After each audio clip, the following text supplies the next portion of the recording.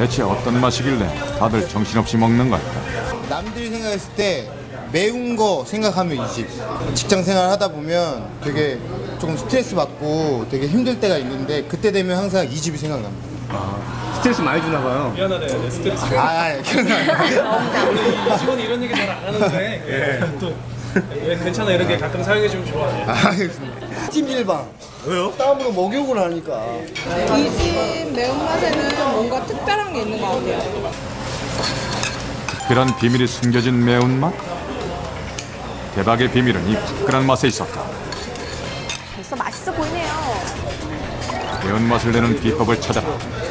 일단 주인장에게 한문수사 들어간다. 매운맛이 되게 특별하다고 얘기하거든요. 네.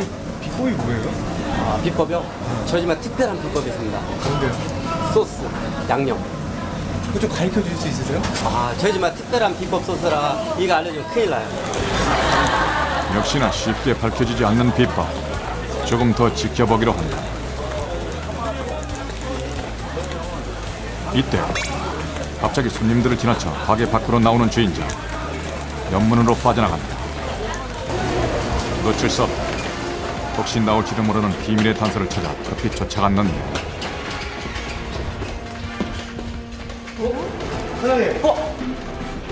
주인장의 모습에 당황한 주인장. 손에 든 빨간 통이 의심스럽다. 양념통인가요? 저희 집만의 비법 소스입니다. 드디어 공개되는 비법 소스의 정체는 붉은 빛깔 자랑하며 통 안에 고이 담긴 이것이 바로 매운맛의 빛.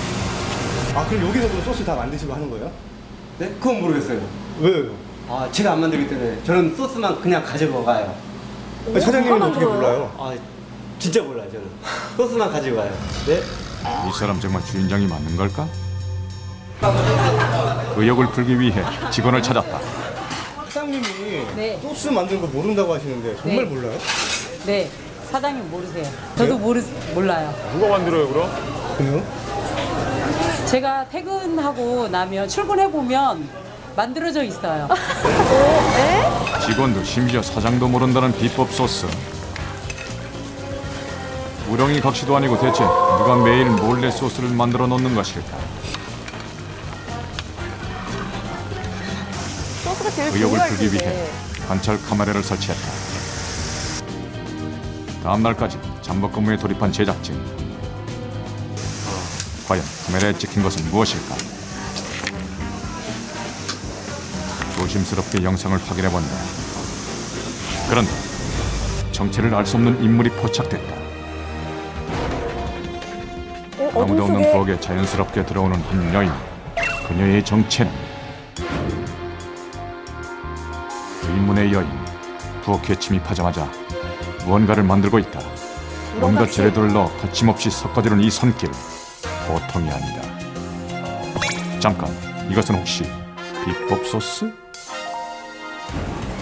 주인장에게 급히 달려간 제작진. 아, 네. 이분 누구예요? 어, 저희 와이프예요. 결정적 증언이 포착됐다. 지체할 시간이 없다. 사장의 아내를 찾아야 한다. 드디어 발견한 주인장의 아내. 그야말로 딱 걸렸어. 어, 신랑 사장님도 몰라요. 저만 만들고 있습니다. 왜 남편분한테 안 알려주세요? 어, 비밀이니까요. 주인장의 장모가 아내에게만 특별히 전수했다는 비밀 소스의 비법. 주인장도 모르는 이집 여자들만의 대박 비밀이란